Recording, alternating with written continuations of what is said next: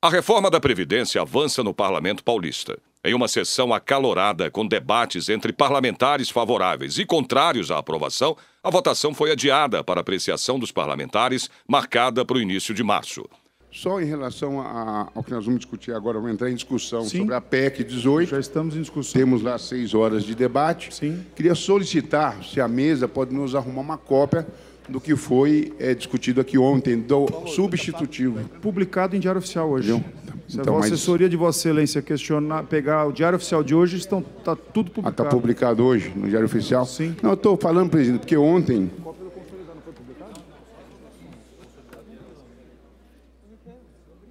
Consolidado? Não, não foi. Isso.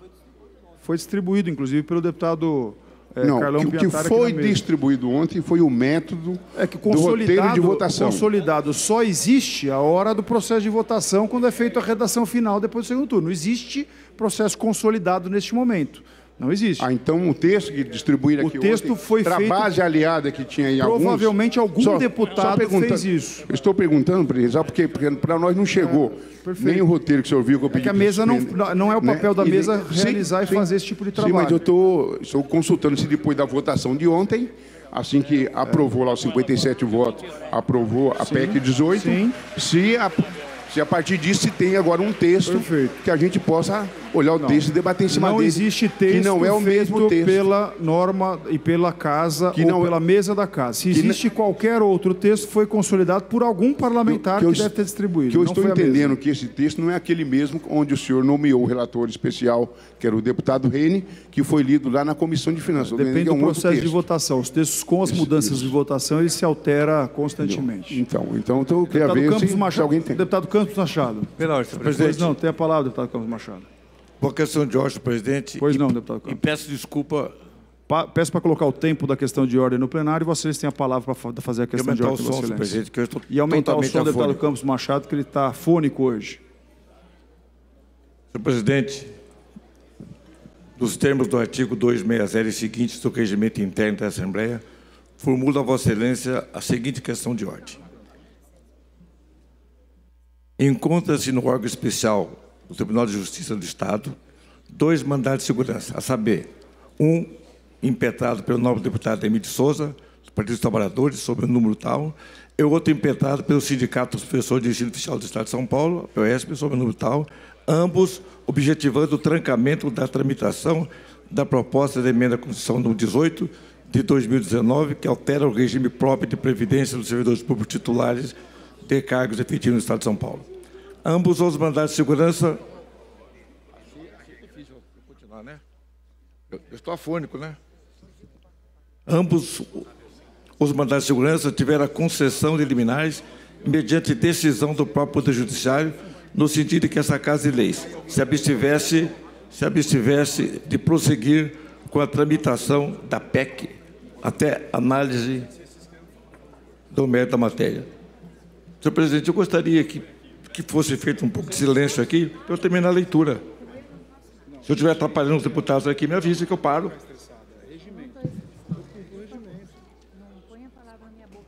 Dentro do devido processo legal, assegurada ampla defesa, a mesa da Assembleia Legislativa ajuizou, perante o presidente do Supremo Tribunal Federal, medidas de caráter incidental pela suspensão das correspondentes seguranças afetas às concedidas.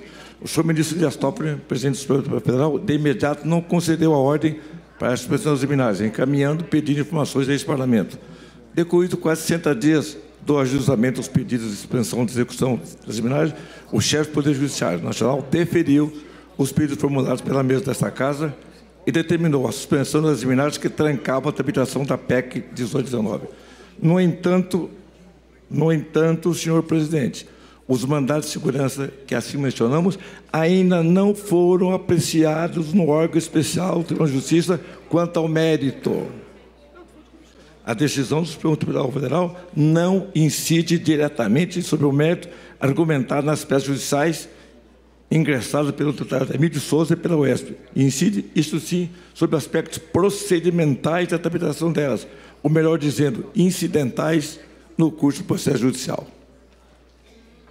Tais decisões anularam exclusivamente atos decisórios de interlocução, não implicando julgamento final dos diferenciados da segurança. Por esta razão, depende ainda os pedidos de segurança de avaliação do órgão especial do Tribunal de Justiça sobre se é constitucional, sobre a constitucionalidade ali arguídas nas peças processuais. Nesse sentido, é por obediência ao princípio Para concluir a questão de ordem, deputado Campos Machado. Vocês me permitem, terminando. É são três minutos. Não, é que não sou eu que sou, é automático. O sinal, o sinal é o toque automático. Eu estou terminando, senhor presidente. Então, por favor, dou a palavra para a conclusão, deputado Campos Pois não, Machado. senhor presidente. Tá, por que tanta pressa? Eu não estou terminando. Deputado Campos Machado, não sou eu que sou o sinal, deputado Campos Machado. É automático. Mas, mas será, que, será que essa campainha é tão mal educada que impede é, que eu possa ela, terminar? Quando passa o tempo, ela toca. Nesse sentido, é por obediência aos princípios da legalidade devido ao processo legal, do das leis e principalmente da segurança jurídica que o plenário dessa Assembleia Legislativa tem o dever de se abster de qualquer votação da proposta de emenda constitucional 1819 sob o risco de, em futuro próximo, de ter anulado todos os atos porventura adotados a partir de agora quanto à aprovação e promulgação da PEC 19. Regimentalmente, essa matéria não se encontra integralmente em condições de ser deliberada. Toda e qualquer decisão pelos seus pares poderá ser invalidada por uma decisão contrária do Judiciário contra o mero positura. É inadmissível darmos prosseguimento ao processo legislativo dessa matéria, correndo-se o risco de, lá na frente, temos que voltar ao início da análise do seu conteúdo, trazendo não só descrença quanto a seriedade do nosso trabalho, mas de consequências devastadoras para todos os República do Estado de São Paulo. Razão, razão pela qual a presente questão de ordem se apresenta para que essa providência não convoque qualquer sessão para deliberação da PEC 1819, até que tenhamos a segurança jurídica necessária para a convalidação da aprovação ou não da proposta enviada pelo governador João Gripino. Obrigado, senhor presidente. A presidência recebe a questão de ordem e responderá no momento oportuno. Pela ordem, deputado Carlos Gianazzi.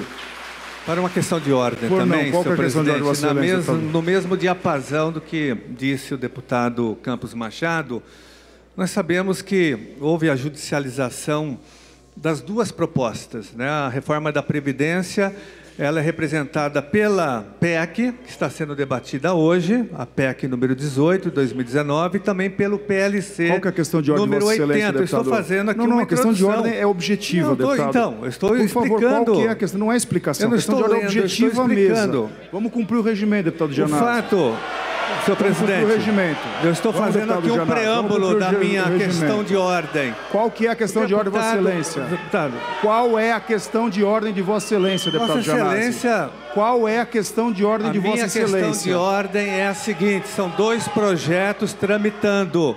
Qual uma é PEC que nós já entendemos que Vossa Excelência foi ao Supremo Tribunal é Federal de e derrubou as liminares. Está cessado o tempo de Vossa Excelência. Eu queria chamar o orador Paulo Fior, professor Abebel, para falar favoravelmente a matéria.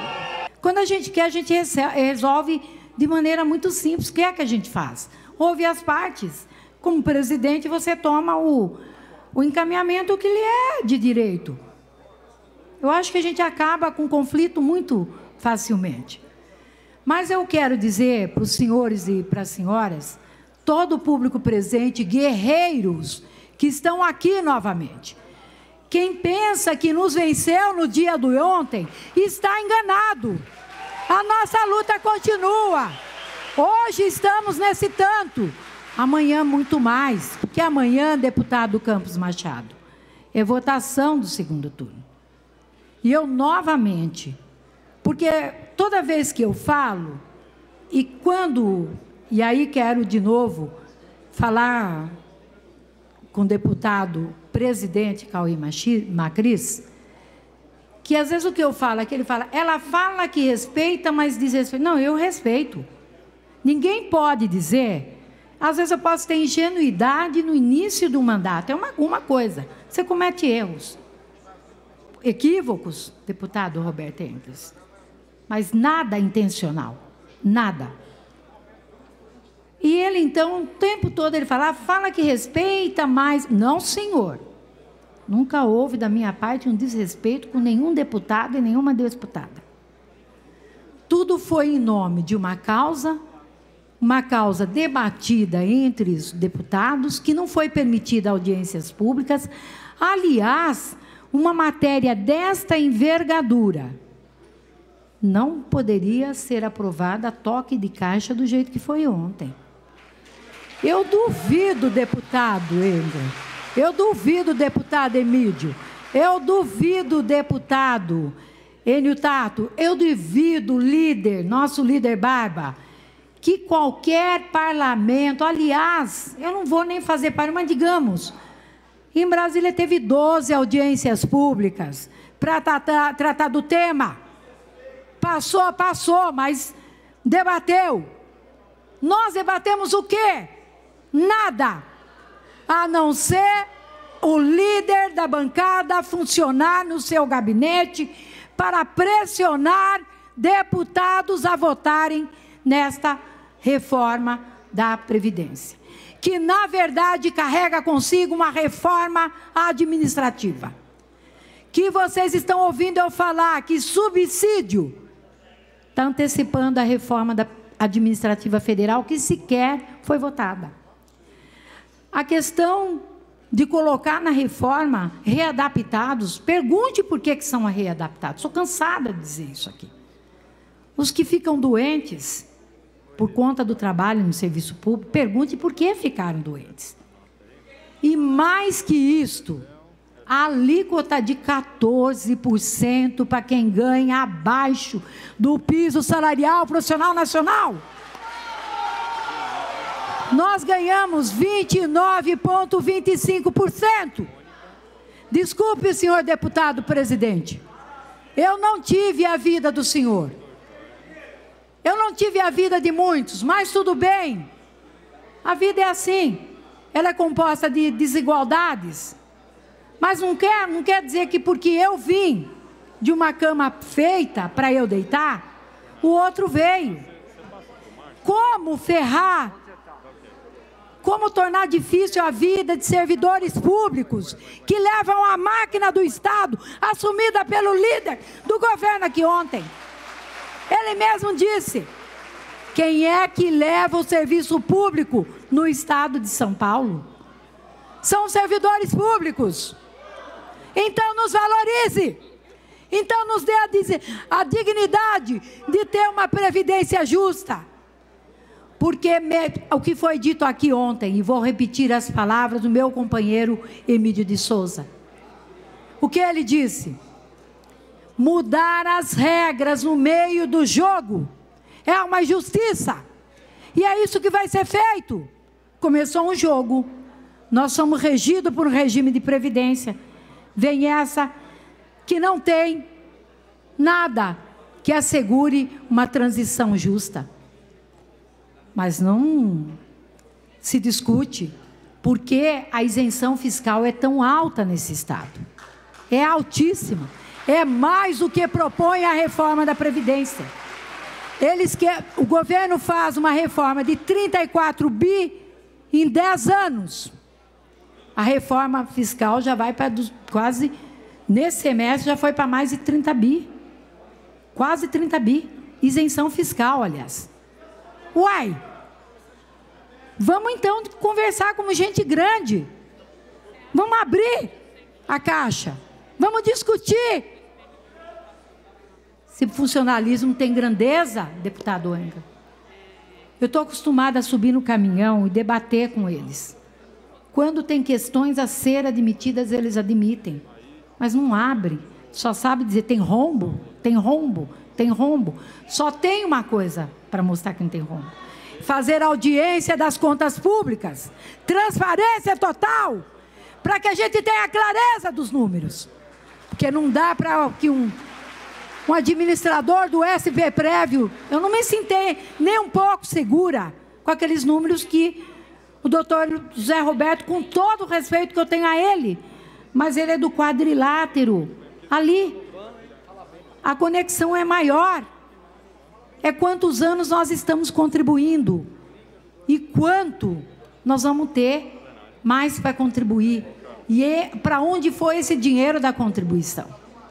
Até onde eu sei, até dinheiro do Fundo de Desenvolvimento da Educação Básica, o Fundeb, e valorização do magistério, foi retirado para pagar aposentado. Então, onde foi o dinheiro? A gente vem pagando. Desde que somos professores, pagamos através do IPESP. Aí foi feita uma reforma da Previdência, instituiu os 11%. O governo deveria, deputado Emílio, colocar duas vezes a cota parte, que é 22%, mas não colocou. Aí é que está o rombo. Agora vem tirar o rombo nas nossas costas. Em 10 anos vai sanar? Leva 10 anos para sanar a dívida pública? Ou vamos imputar isso a uma má gestão? E aí nós, servidores, não temos como pagar o preço de uma dívida que não foi pública, ela foi pública no espaço em que agiu, mas ela não foi transparente com conosco, com a população paulista. E nós queremos que isso seja de forma transparente. Não, eu peço para vocês, peço para os senhores deputados, senhoras deputadas, nós formamos, muitos de vocês tiveram filhos nas escolas públicas. Quem foi que formou? Foram professores. Quando vocês vão aos postos de saúde, ou a funcionária de vocês vão. Quem é que atende? O servidor da saúde. Né? Para que fazer essa injustiça? com quem já é injustiçado pelo Estado de São pra Paulo concluir, e o Estado brasileiro. Para concluir. Para que fazer essa injustiça? Eu quero dizer o seguinte, que eu lamento muito que a forma assodada dessa reforma aconteça, concluir, mas me Bebel. sinto muito, muito segura com a presença de todos vocês nesta casa. E amanhã vai ter três vezes mais do que temos hoje, porque também fizemos uma convocação de massa. Forte abraço. Diz o artigo 127 que, além da ata referida no artigo precedente, haverá ata impressa dos trabalhos que conterá todas as ocorrências da sessão anterior e será publicada no Diário da Assembleia. E tem um parágrafo único que diz que não será permitida a publicação de pronunciamentos que contenham ofensas a instituições nacionais, eh, propaganda de guerra, etc. Eh, ou ou classe, religião ou classe, ou que configurem crime contra a honra. Ontem, um deputado aqui da tribuna, ao agredir os presentes aqui na Assembleia, os chamando de vagabundos, ele ofendeu a honra dessas pessoas. E a reivindicação, baseada no artigo 127, é que Vossa Excelência determine a exclusão da ata dessa expressão do deputado. Receba a questão de ordem, Vossa Excelência, responderei no momento oportuno. Com a palavra, o deputado Paulo Fiorilo. Segunda questão de ordem, presidente. Pois não. A, a questão de ordem formulada pelo deputado Campos Machado, pois sobre não. a questão, bom, que é elencada por ele, se ela não for respondida por Vossa Excelência no imediato, ela perde, a, a, perde o objeto, porque se a Assembleia deliberar depois, antes da de, dessa deliberação da questão de ordem, perderá o objeto. O regime, eu tenho prazo regimental para fazer a resposta, farei o mais rápido possível. Deputado Paulo Fiorilo. Senhor presidente, senhores deputados, senhoras deputadas, o público presente que acompanha essa tentativa de atropelar, é, impedindo questões de ordem, aqueles que nos acompanham pela TVA, LESP, as assessorias. Eu queria dizer ao presidente dessa casa, o deputado Cauê Macris, e ao deputado Rene do Novo, que foi o relator, que seria fundamental, fundamental, deputado Cauê Macris, que o relator pudesse ocupar essa tribuna para dizer o que o relator apresentou como proposta para ser discutida. Por quê? Porque ontem nós fizemos aqui um debate exaustivo e ao final o governo conseguiu 57 votos.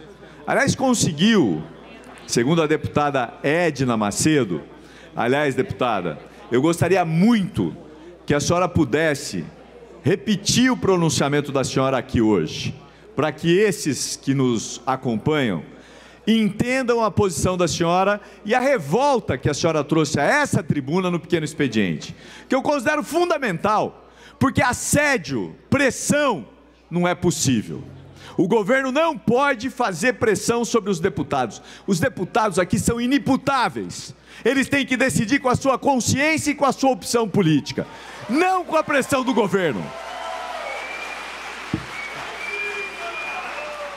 Então eu queria pedir para a deputada Edna, se quiser usar o microfone da parte ou se inscrever, que fique à vontade, porque eu tenho certeza que a senhora dará uma contribuição importante, principalmente para aqueles deputados que estão em dúvidas, ou que mudaram de voto ontem.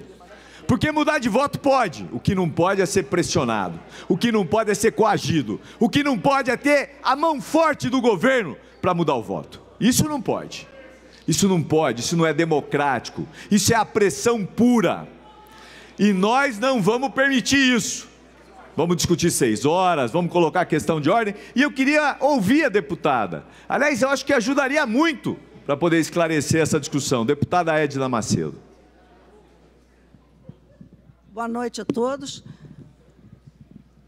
Nobre deputado Paulo Fiorillo. Fiorilo.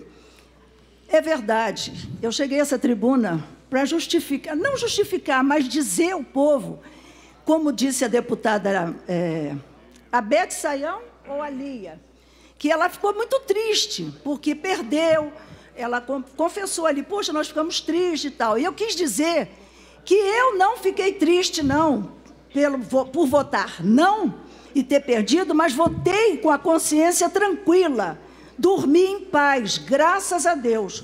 Porque não voto contra aposentado, não voto contra pensionista e não voto contra o, o, o servidor público. Porque é uma vergonha. O senhor imagina bem, nunca tem dinheiro para pagar os aposentados. Todo ano se aumenta a energia elétrica, aumenta os pedágios, o plano de saúde, a farmácia, os, os remédios altíssimos custo. Então, o, o, o aposentado ele já ganha uma miséria uma miséria. O salário mínimo é mínimo mesmo, não tem como. E o que, que acontece? As pessoas desempregadas, elas vivem muitas vezes do salário do avô, da avó, do pai, da mãe, que são aposentados porque estão desempregados.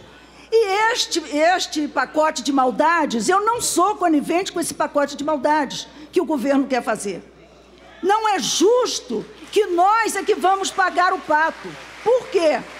Quem deve bilhões não é cobrado. Empresas que devem milhões e milhões. E é justo que nós é que vamos pagar o pato? Negativo. Eu voto e votarei contra. E pensa bem, deputado. Vai passar os anos, eu não sei se estarei viva, mas quem viver verá. Que vai chegar a hora que vai dizer que esta proposta, essa, essa emenda ou esse é, como é que fala? O, a reforma, a reforma já, não, já não vale mais, porque está defasado, porque não tem mais dinheiro. Por quê? Porque roubam, mete a mão e não tem condição de nós pagarmos, entendeu? E por isso eu falei. Hoje, o deputado, o deputado Frederico Dávila, propôs aqui fazer, inclusive, uma, um requerimento de informação. Porque o governador não governa, ele fica viajando, parece até um. Nós é que estamos pagando essas viagens para Dubai, para aqui, para acolá, Emirados, Europa, Estados Unidos. Então ele parece que ia ser o presidente. Mas ele não vai ser, por mim, ele não vai ser presidente nem do quarteirão da onde ele mora. Você quer saber? Eu pedi, eu pedi que a deputada Edna Macedo desse esse depoimento, porque eu considerei um, de, um depoimento fundamental para que aqui essa Assembleia, esses deputados e deputadas entendessem a importância de dizer não a essa reforma. E é por isso que nós vamos insistir para dizer não a essa reforma. E eu vou dialogar com o relator da reforma. Reparem só, o principal argumento desse governo é: não há recursos e nós precisamos fazer a reforma. Eu disse ontem aqui, por isso que eu quero ouvir o Rene o deputado Rene.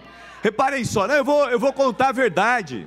Olha só, A deputada Edna já apontou. Há pouco tempo atrás, essa Assembleia votou uma reforma, porque estava no fim, porque ia acabar, porque não tinha dinheiro.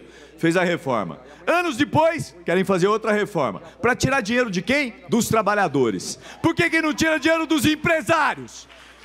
Vamos lá, aos dados, deputado Rene. O ano de 2009, o estado de São Paulo arrecadou em valores nominais 257,44 bilhões de reais em receitas. Se considerarmos a inflação acumulada no ano, de janeiro a dezembro, o valor arrecadado é 264,49 bilhões, o que representou um aumento de 2,5% em relação a 2018, quando o Estado arrecadou 258 bilhões. A receita tributária, que inclui a arrecadação de impostos, taxas e contribuições, também aumentou em 12%. Foram de 185,28 bilhões arrecadados com tributos em 2019.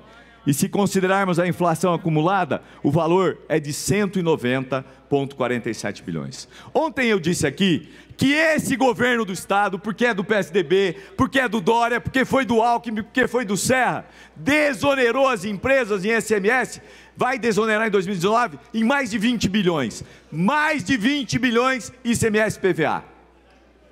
Por que que tira dos trabalhadores para dar para os ricos? Que Robin Hood é esse que tira dos pobres para dar para os ricos? E coloca e coloca a faca no pescoço dos deputados para votar contra os trabalhadores.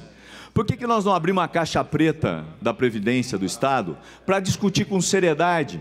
Por que, que nós não trazemos aqui os dados necessários para dizer, olha, tem problema, não, não tem problema, é possível mexer aqui ou mexer acolá? Sabe o que, que nós estamos fazendo? Um arremedo. Ontem aprovou por 57 e depois os deputados ligados à polícia vieram pedir que a bancada votasse nas emendas para melhorar o projeto. Que incoerência! Melhorar o que é ruim para salvar a pele de alguns? Por que, que nós não votamos aqui? Por que, que nós não votamos aqui a proposta de reforma apresentada pela professora Bebel, que não traria nenhum problema e evitaria consertar um erro? Eu gostaria muito de ouvir o deputado Rene, que foi o relator. Gostaria. Espero que ele se inscreva. Até agora não, tinha se, não, não, não havia ali a inscrição do deputado. Mas eu quero dizer mais. Se houve arrecadação acima da inflação, o governo possivelmente deve ter gastado bem em áreas importantes do Estado. Pois bem, quando a gente olha a execução, eu vou dar um dado que eu acho que é importante. Secretaria de Habitação gastou menos 12%. Um problema gravíssimo no Estado. Menos 12%. Secretaria de Saúde, menos 1,9%. Secretaria, vamos para a Secretaria de Segurança Pública, que era a prioridade do governador, que aliás foi o argumento para poder aprovar com 57 votos, menos 0,1%. Esse é o governo. Bom, e ele gastou onde? Gastou em comunicação, gastou na produção de fake news, gastou produzindo programas que não existem.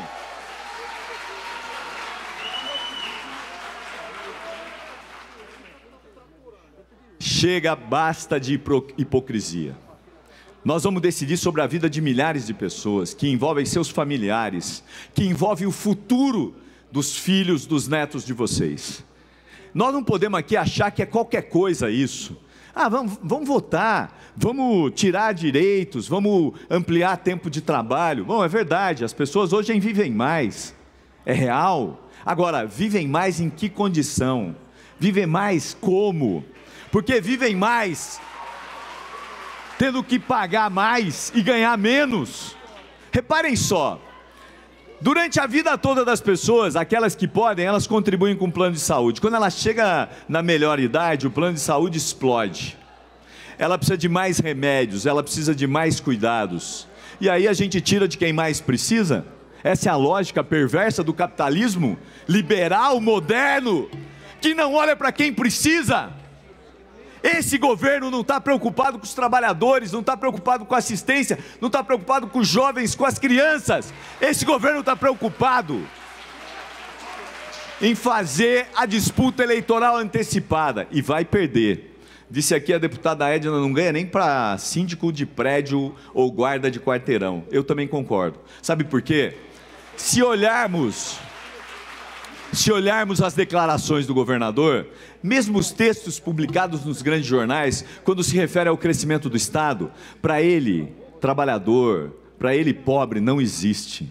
Não tem uma citação nos seus textos. Sabe por quê? Porque a preocupação dele é outra, é com os empresários, é com os seus, é com quem ele senta todo dia para dialogar.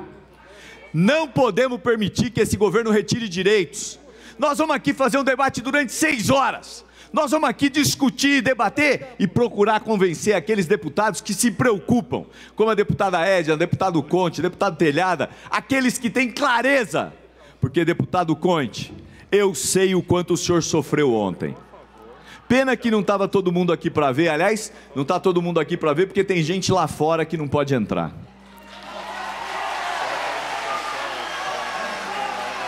O senhor o senhor foi pressionado o tempo todo para dar o voto sim. E eu vou dizer aqui, Conte Lopes não é do meu partido, não comunga com as minhas ideias em muitas coisas, mas ontem foi homem o suficiente para dizer para o governo: não, eu vou votar não. Você, Conte, mostrou que é possível ser deputado sem se curvar, sem arregar e eu vou conceder uma parte que o meu tempo está acabando. Agradeço a parte, deputado. Eu sou funcionário público há 52 anos, não posso voltar contra funcionário público. Não, não adianta, não adianta, deputado, falarem que para a polícia militar vai ser diferente. Vossa Excelência é um homem do, da polícia que sabe que a lei muda de um dia para o outro. Hoje, o presidente da República é militar. Daqui dois anos, o, o, o, presidente da República é outro. E vem para o Estado o problema da Polícia Militar também, como eu já vivi isso há muito tempo. Em 70, na época do, do militarismo, havia um, um, um, artigo que falava da Polícia Militar na Constituição da época. E dizia o seguinte: nos Estados haverá as Polícias Militares, que nós nome era Força Pública, virou Polícia Militar em 70, cujos componentes, só dizia isso, não poderão ganhar mais do que os militares das Forças Armadas. Só tinha isso. Então, amanhã ou depois, o que está falando da Polícia Militar, pode mudar com uma simples canetada. Obrigado. Queria agradecer o deputado Conte Lopes.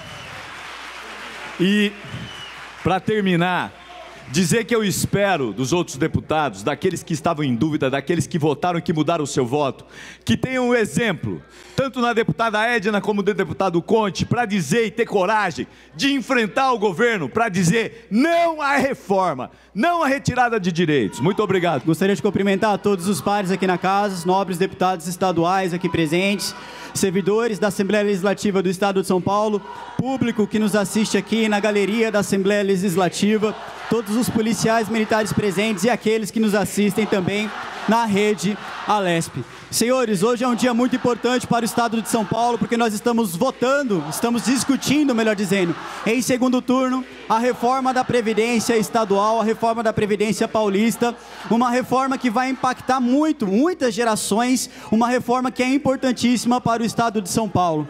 Eu defendo que exista sim uma reforma da Previdência, assim como eu defendo que exista uma reforma tributária, assim como eu defendo que exista uma reforma administrativa, porque isso é necessário não só para o Brasil, isso é necessário para o Estado de São Paulo, isso é necessário para todos nós. Nós precisamos de uma reforma, nós precisamos fazer com que o Estado fique mais enxuto. Eu vou batalhar para que essa reforma da Previdência fique idêntica e parecida com a reforma de Bolsonaro e Paulo Guedes, porque Bolsonaro e Paulo Guedes trouxeram uma reforma justa no Congresso Nacional e nós precisamos dessa reforma aqui na Assembleia Legislativa do Estado de São Paulo também. Eu gostaria que todos os deputados dessa casa olhassem as emendas relativas à reforma da Previdência Estadual. Nós precisamos focar no servidor público e essa Assembleia tem que trabalhar também em prol do servidor público. E é por isso que nós precisamos de uma reforma da Previdência. Sem a reforma da Previdência, nós não vamos conseguir, nós vamos quebrar, nós vamos quebrar o nosso Estado. E não apenas a reforma da Previdência, como também uma reforma administrativa. E trabalhar para que todas as instituições respeitem o servidor, principalmente se tratando do professor. Ora, nós temos aqui o melhor ministro da Educação, Abraham Weintraub, que fez com que os professores da rede básica tivessem, sim, um aumento substancial em seu salário. E eu não vi por parte da POSP parabenizando o ministro da Educação por essa ação. Mas o ministro da Educação, assim como o presidente, eu tenho certeza que essa Assembleia também vai trabalhar para que o funcionalismo público, principalmente os professores, sejam respeitados. A reforma da Previdência, essa proposta, deve ser muito judicializada ainda por nós pelos diversos vícios aqui na tramitação dessa reforma e tenho certeza que por um monte de gente. Eu não paro de receber mensagens, principalmente dos policiais, agentes penitenciários, etc., que estão completamente confusos sobre quem vai ser beneficiado pelo direito de transição. Tem várias faixas de anos que ficaram de fora, então as pessoas estão bastante preocupadas, sem criar que cria mais uma faixa especial dentro da faixa especial, porque porque separou os policiais dos, é, dos professores e a gente já sabe que aqui a direita não gosta muito de professor e o que tiver que fazer para excluir, vão excluí-los. Mas eu quero dizer também para os policiais, eu vivo falando sobre isso, né? O populismo penal é a pior coisa que existe nessa fase do Brasil, porque o populismo penal, ele mata pessoas e não resolve a situação. Por exemplo, no caso de hoje citado da escola, e é uma infelicidade que, para resolver o problema de um adolescente problemático que quer ou não apresenta comportamento é, ruim na escola, a única solução seja a polícia. E que essa casa não tenha vergonha de não se debruçar para estudar esse problema, criando qualquer outro dispositivo que não jogar a polícia. Mas, para além disso, parece que a única solução é matar ou morrer pelo fetiche de ter arma na mão. A polícia essa que eles dizem enaltecer também está refém dessa reforma da Previdência.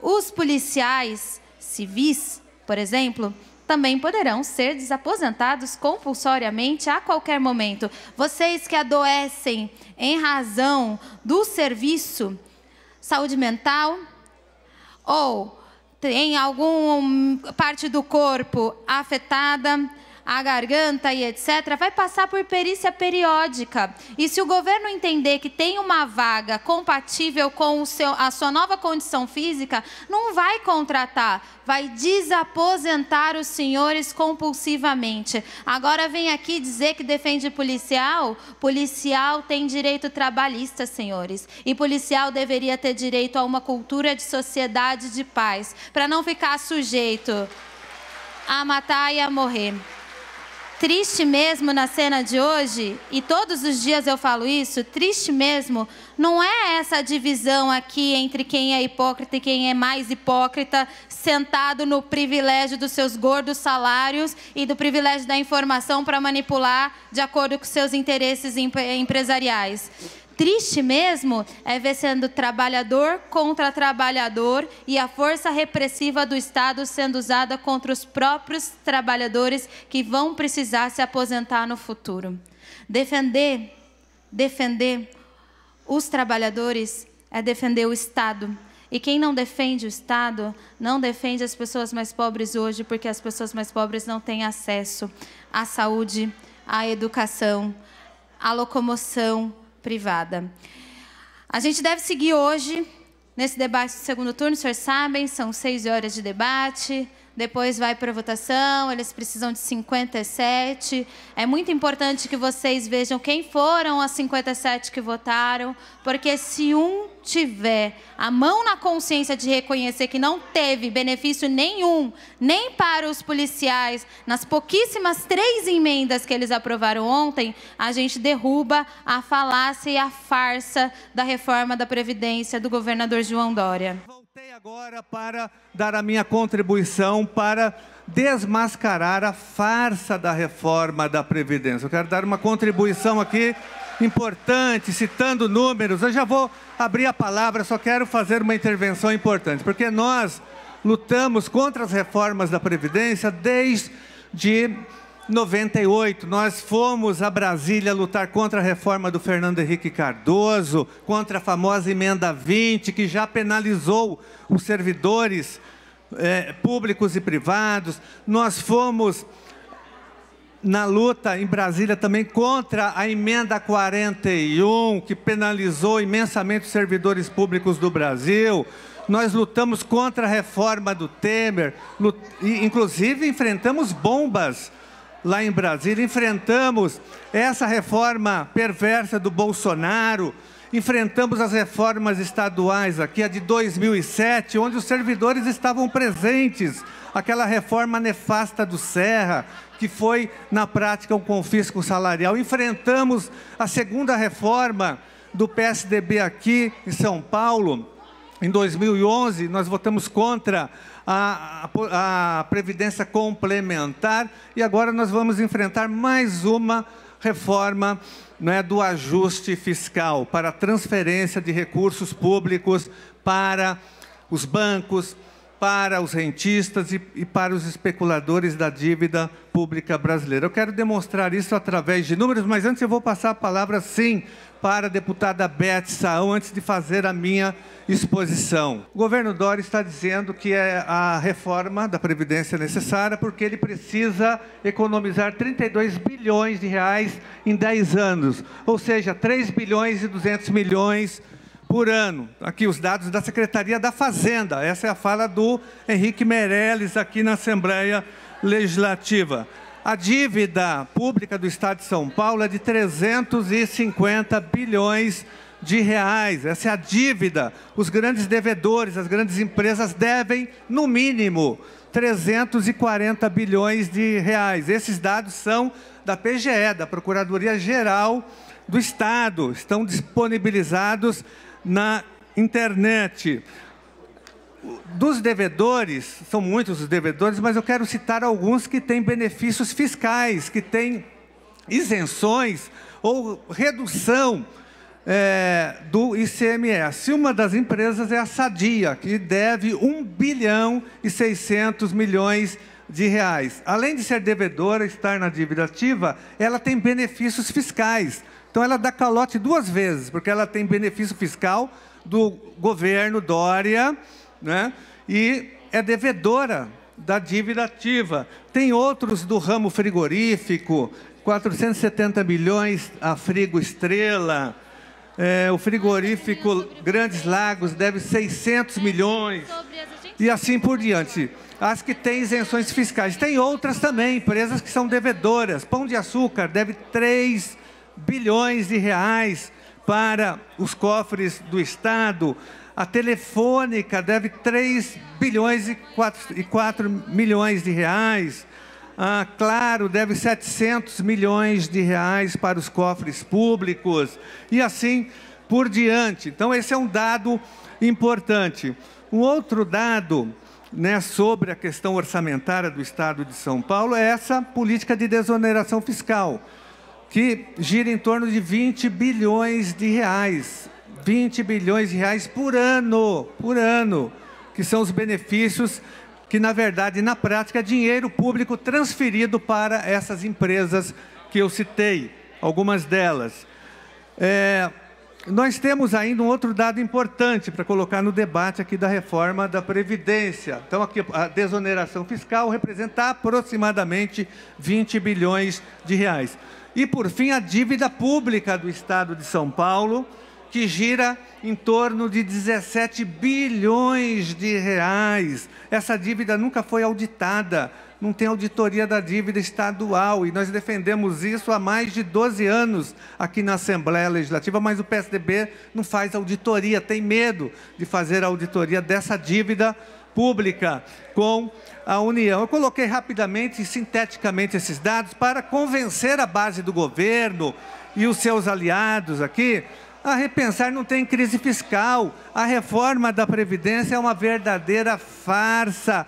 Essa é a questão, essa questão da dívida ou das dívidas é a principal questão que a Assembleia Legislativa tem que debater e resolver. Agora, atacar servidores públicos do Estado de São Paulo, professoras, servidores da segurança, sistema prisional, da saúde, do Ministério Público, do Tribunal de Justiça, é, é uma, um ato de covardia, é uma perversidade. Deputados, enfrentem as empresas devedoras. Por que Vossas Excelências não querem enfrentar as empresas devedoras? Por que Vossas Excelências não querem fazer auditoria da dívida pública? Por que Vossas Excelências não querem debater a política de desoneração fiscal do Estado de São Paulo, da Bolsa Empresário. Eles não querem. Né? Nós sabemos porque até recentemente essas empresas, muitas delas, financiavam campanhas eleitorais dos partidos, do governador, de vereadores, de prefeitos, de deputados estaduais, de deputados federais. Então ninguém mexe com o setor econômico. A Assembleia Legislativa está a serviço dessa lógica. Então, deputados e deputadas, por favor, levem em conta esses dados, esses números que mostram claramente né, que nós não podemos fazer uma reforma perversa como essa, que não tem nem regra de transição. Tem funcionário público, servidor público, que já está um ano da aposentadoria, vai ter que trabalhar mais oito anos, nove anos. Tem gente que está dois meses há três dias da aposentadoria, vai trabalhar cinco, seis anos, é uma vergonha, isso é um absurdo, é uma perversidade sem precedentes do governo Dória. Com todo o respeito, que me permitam fazer alguns comentários, sem qualquer tipo de conotação, a não ser buscar uma explicação para aquilo que, a meu ver, está ocorrendo e que tornou necessária essa situação difícil que nós estamos enfrentando no Brasil. Eu pediria que projetasse, por favor, já está projetado, o que aconteceu de 1970 a 2000 com relação a, ao aumento da, do tempo de vida das pessoas no nosso país. Vejam como era muito pequeno o número de, dos mais idosos, acima de 60, como ele aumentou para 2000 e como ele vai aumentar e está aumentando para 2030. Eu queria dizer o seguinte: até parece que é o estado de São Paulo que está fazendo uma reforma da Previdência. Parece que o Acre não aprovou ainda o seu projeto e aprovou. Alagoas aprovou. A... O Amazonas aprovou, Bahia aprovou, Ceará aprovou, Espírito Santo aprovou, Goiás aprovou, Maranhão aprovou, Mato Grosso do Sul aprovou, Paraná aprovou, Pernambuco aprovou, Piauí aprovou, Mato Grosso do Sul aprovou, Sergipe aprovou, 14 estados já aprovaram a sua reforma. Todos eles acompanham a reforma de Brasília. Todos eles. Um estado apenas dá uma idade mínima menor do que a todos os demais estados, que é de 65 para o homem e de 62 para a mulher. Só um estado diminuiu um ano, pois de 64 para e 61. Mas eu queria dizer, minha gente, que não há como, e quem conhece os estados do Brasil como eu tive oportunidade de conhecer como ministro, quem conhece os municípios de São Paulo, como eu tive oportunidade de conhecer como secretário de Agricultura e como candidato a governador desse estado que fui, sabe perfeitamente qual é a situação de todos os estados do Brasil e de todos praticamente municípios de São Paulo e do Brasil. É de penúria, é de penúria. É muito fácil nós falarmos tudo aquilo que falamos, mas eu queria dizer que a reforma da Previdência, lá em Brasília, não foi aprovada porque este ou aquele quis.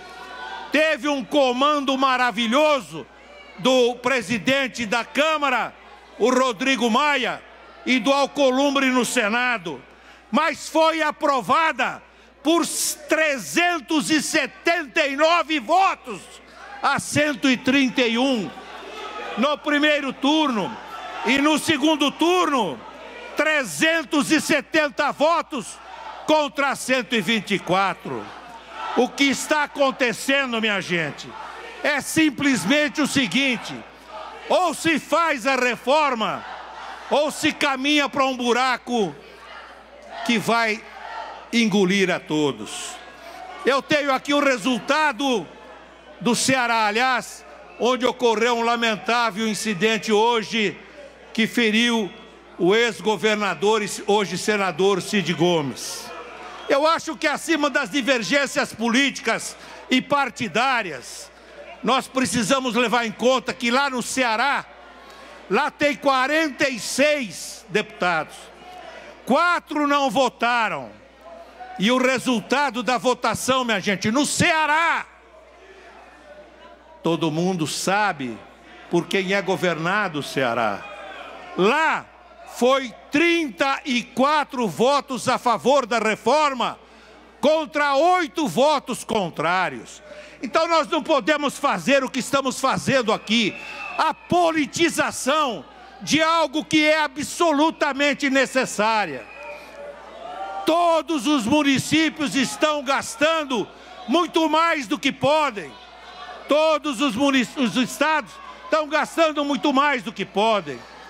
Então, eu ouço aqui se discutir em assuntos que não tem nada a ver com a reforma da Previdência. Aqui, aqui em São Paulo, eu queria dizer que eu vi os servidores, como sempre fiz como deputado, como fiz como líder de governo e como fiz como presidente dessa casa. Eu sempre tive o respeito dos servidores, porque sempre os respeitei. Eu tenho dito que o Brasil tem duas coisas realmente valorosas: o seu povo e os seus servidores públicos. Mas, minha gente, eu não estou falando para um milhão e meio de servidores públicos e pensionistas e aposentados de São Paulo. Eu estou falando para os 44 milhões de paulistas de brasileiros que vivem em São Paulo. É justo o que acontece na diferença entre o que o servidor público tem e o que o trabalhador da iniciativa privada tem? É justo o servidor público se aposentar com 50 anos, 55, e o trabalhador se aposentar com 60, 70, 80 anos até morrer? É justo que o trabalhador da iniciativa privada se aposente com no máximo 5 mil reais, quando há aposentadorias no Brasil de 150 mil reais, de 120 mil reais, de 90 mil reais e assim por diante. Eu conversei com os líderes da maior parte das associações de servidores e eles me disseram está ótima a emenda como ficou, acolhendo as emendas dos servidores. Todas as emendas aceitas nesta PEC, que teve o seu substituto, substitutivo aprovado ontem, foram produzidas pelos servidores públicos de São Paulo. Então, minha gente, não é hora de acirramento de ânimos como nós estamos tendo. Não é hora desse show dantesco que estamos aqui assistindo e promovendo. Presidente Cauê, eu entendo a sua situação, porque eu passei por ela. Ainda que algum exagero o senhor tivesse cometido, e eu acho que o senhor cometeu, como a deputada Bebel também me disse que reconhece que se excedeu. Isso não pode justificar tudo o resto que se falou aqui indevidamente. Ela é uma extraordinária deputada, na minha modestíssima opinião. E Vossa Excelência, deputado Cauê, é um extraordinário presidente que merece, terá sempre o meu sincero e agradecido respeito. Vamos em frente, minha gente, vamos nos unir, vamos votar aquilo de que São Paulo precisa indiscutivelmente. O Brasil precisa para sairmos da situação em que nos encontramos. Viva a democracia com respeito, com ordem e com disciplina. Um grande abraço. Ontem, inclusive a minha bancada votou a favor de um item que dizia que melhorava a vida dos policiais. E eu hoje fui discutir com o sindicato dos delegados de polícia aqui no estado de São Paulo para saber Falei, pô, nós votamos uma coisa boa, vai melhorar a vida dos delegados, dos mais de 2.500 delegados no estado de São Paulo. Quero que o deputado Bruno Lima queria dizer aqui ontem, algo em torno de 500 delegados, que são muito antigos, serão beneficiados pela emenda. Dos mais de 28 milhões, 28 mil 375 policiais civis que existe no estado de São Paulo, a emenda que foi aprovada aqui ontem deve beneficiar mais ou menos 10 mil policiais militares. Civis, civis, desculpa, desculpa, os civis, os, militares têm regime próprio. Então foi enganado a bancada, uma parte da bancada da Polícia Civil. O delegado da Graziella foi enganada. Delegado Olim sabia disso, sabia. Se a sua emenda fosse aprovada na íntegra, que foi o último item do caminhamento que nós demos, aí a Polícia Civil estava totalmente protegida. A Polícia Civil não foi protegida. Parabéns, Danilo Balas. Você que votou contrário. Parabéns, Conte Lopes. Parabéns, Major Meca. E os deputados que votou contrário. A bancada de oposição. Você sabe que vocês votaram aqui ontem, delegadas, delegados de polícia um policial civil hoje, ele pode entrar na Polícia Civil a partir dos 18 anos. 30 anos de trabalho, função periculosa, tem risco de nem chegar ao final da função, pode morrer num tiroteio e não tinha o direito da mulher ter pensão, que eu não sei nem se foi corrigido no texto. Agora, aumentaram que se ele entra aos 18, ele vai trabalhar até aos 55 anos. Foi o que vocês votaram aqui ontem. E nós achando que melhorava, confiando em você, confiando na delegada Graciela, achando que melhorava mesmo, fomos lá e votamos a favor. Hoje confesso que eu estou arrependido, porque melhorou para uma parcela. Melhorou, sabe para quem hoje? Vamos chamar assim, para os capas, para os capa preta da Polícia Civil, para os marcondes, para os, os diretores, para esses caras melhorou. E para os policial civil bem antigo. O restante vai ter uma jornada maior. Quero me solidarizar aos professores do Estado de São Paulo. Os professores do Estado de São Paulo, as professoras, com 50 anos, 25 de trabalho, é isso, Bebel? Podia se aposentar. Pulou de 50 para 57. Os homens, era 55, pulou para 60. Né? Saltou o tempo de trabalho dos professores. E aí tem uma bancada governista que vem aqui e diz que votou para melhorar a vida do Estado e para acabar com o déficit da Previdência. O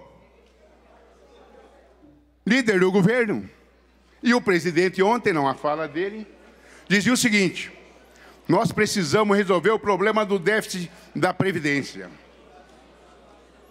Se eu pegar de 2008 até 2018, a renúncia fiscal feita pelo governo tucano no estado de São Paulo, e agora com a colaboração do PSL, com a colaboração do Partido Novo, com a colaboração de parte do Podemos, com a colaboração de parte do PSB, com a colaboração da bancada aliada, aprovou nesse ano, para esse ano, algo em torno de 23 bilhões de renúncia.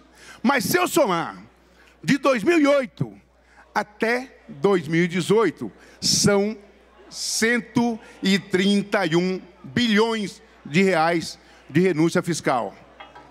Para que a renúncia? Provavelmente para os amigos da bancada aliada, para os amigos do Dória, que são os empresários. Mesma coisa que o Bolsonaro faz, faz lá em Brasília. Pior ainda, porque aqui a renúncia é feita sobre sigilo. 16 setores no estado de São Paulo têm o sigilo de receber a, de, a renúncia fiscal, a isenção do ICMS e os deputados dessa casa não sabem quem é. Nem nós da oposição, nem eles da base aliada. Estou vendo ali Fernando Cury com a mão no rosto, um deputado, companheiro aqui, tem uma boa relação, mas é governista. Deputado Rene, Partido Novo, relator da proposta da PEC. Eu quero ver você escrever, daqui até a hora de encerrar as inscrições, daqui até a hora dos encaminhamentos, para dizer que você acatou apenas duas emendas, uma emenda 30, que eu não lembro se é do delegado Olim ou se é do Campos Machado, e uma emenda 03. Tem vergonha! Não vai subir aqui para se inscrever, porque fez o relato de joelho. Fez o relato.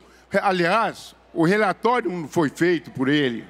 O relatório sai feito de dentro da Casa Civil, orientado pelo João Dória com obediência do presidente que foi responsável por esse grande tumulto que nós assistimos aqui hoje.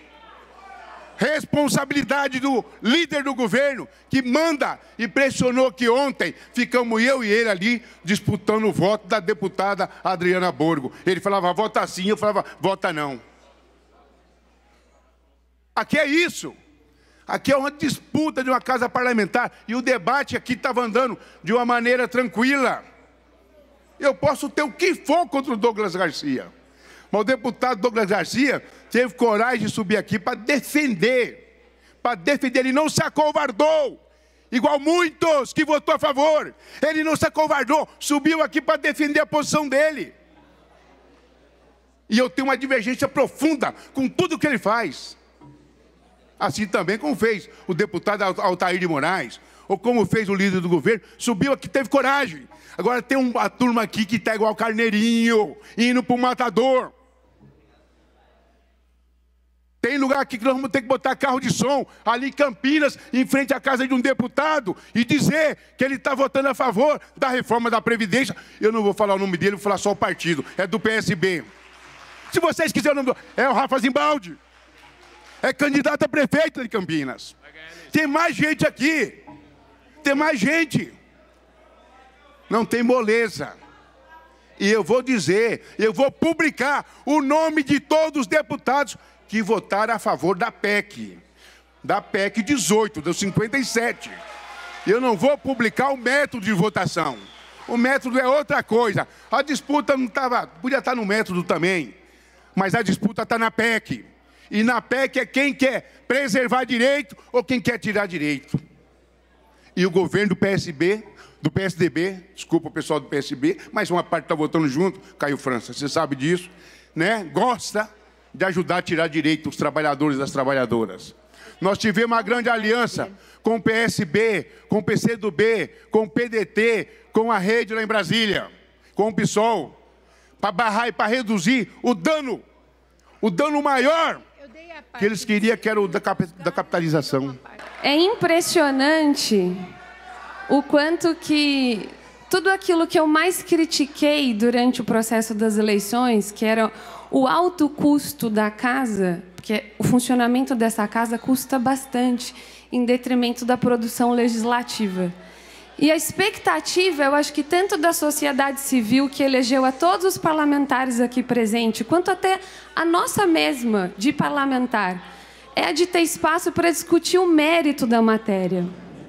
Nós estamos há horas em sessão legislativa. Trata-se do uso do recurso público enquanto tudo isso aqui está funcionando com todas essas pessoas. E não é sobre o dinheiro público que também a gente quer discutir ou não a reforma da Previdência? Então é um, é um pedido, é um apelo de que se a gente pode ser um pouco mais nobre com a gente mesmo, e não partir para o ataque pessoal só para diminuir o nome, a personalidade, a história, o partido. Porque a gente foi convidado e convocado a estar aqui para produzir políticas públicas. Humildemente eu faço essa fala. Não sou a pessoa mais experiente da casa. Como acabei de dizer antes de me pronunciar, eu acabei de chegar. Mas sim, todas as pessoas que nos assistem, inclusive, têm a expectativa de que muito mais do que só um debate pessoal. A reforma é uma agenda importante que já foi iniciada no Congresso Nacional e é papel do Estado de São Paulo também discuti-la. E se a gente puder falar sobre as emendas, sobre os substitutivos, sobre as alterações, com certeza seremos melhor é, reconhecidos e até a sociedade civil vai ser mais grata pelo produto que a gente pode entregar e servir aqui. Por um acordo entre os parlamentares, a discussão da PEC 18 de 2019 se encerrou na sessão da quarta-feira, sem ser pautada nas próximas sessões.